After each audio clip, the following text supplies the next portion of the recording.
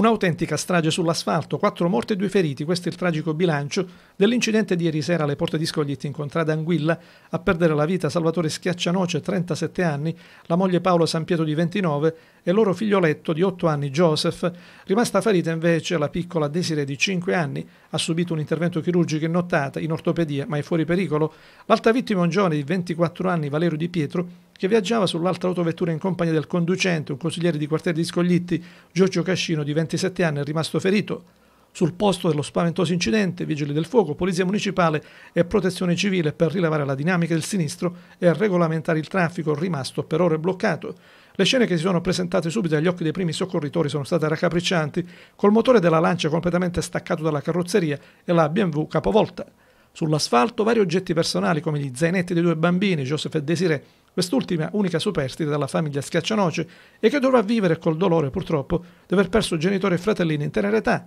La notizia ha fatto naturalmente subito il giro della città, suscitando sentimenti di dolore e tristezza nella comunità vittoriese.